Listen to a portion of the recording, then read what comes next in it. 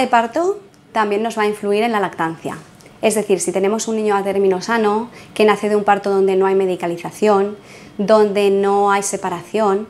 pues al poner el bebé encima del abdomen de la madre va a poner en marcha, al igual que otras crías de mamíferos,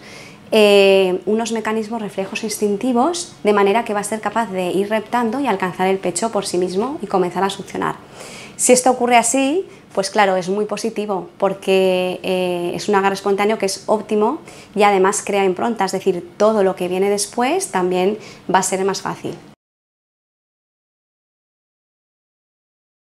La mejor recomendación que podemos hacer a una madre es el piel con piel. Es decir, nada más nace un bebé, realmente lo único que hay que hacer es ponerlo encima de su madre, secarlo un poquito con una toalla y no está indicado separarlo eh, de ninguna manera. Es decir, nosotros en Quirón Salud Valencia, de la manera que trabajamos es tanto si es parto como es cesárea, porque la cesárea no contraindica un piel con piel. Vamos a poner al, bebé encima de la madre y tanto la vitamina K se le va a administrar encima de la madre, el pediatra lo va a ver de forma muy respetuosa encima de su madre también y de ahí no vamos a moverlo mínimo cuatro horas. Lo que se recomienda es un mínimo de dos horas y si el bebé después sigue mamando tampoco tenemos que tener prisa en separarlo. Esas primeras horas cuando nace un bebé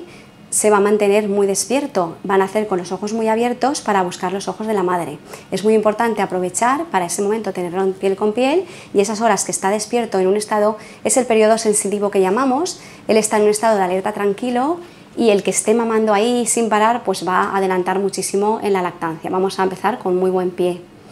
Es verdad que una vez ya... Eh, pase ese tiempo, el bebé va a entrar en una especie de letargo, en el que va a estar bastante dormidito y esas primeras 24 horas puede costar un poquito el despertarlo para que mame. Sin embargo, tenemos este bebé que estaba tan dormido las primeras 24 horas que de pronto se transforma y empieza a pedir sin parar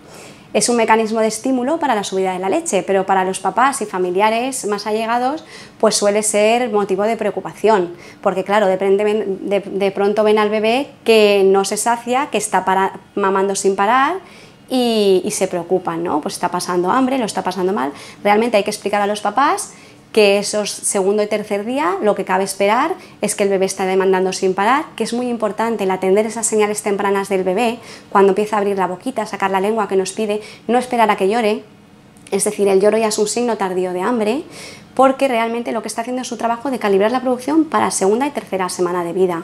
Entonces, la segunda noche es la noche un poco más clave y más crítica, que muchos papás salen al control de enfermería a pedir biberón como locos, le llamamos la noche de las vacas flacas, porque realmente es que el bebé está mamando sin parar. Pero si sabemos qué es lo que le toca hacer y es lo que cabe esperar, vamos a estar más tranquilos. Es importante esos primeros días de hospital tener paciencia y tranquilidad, porque hay que pensar que estamos aprendiendo todos y realmente pues tanto el piel con piel como atender las señales tempranas del bebé, como buscar una posición cómoda en la que a mí no me esté doliendo durante la toma, es importante encontrar toma indolora, eso nos va a asegurar el establecer la lactancia con buen pie desde el inicio.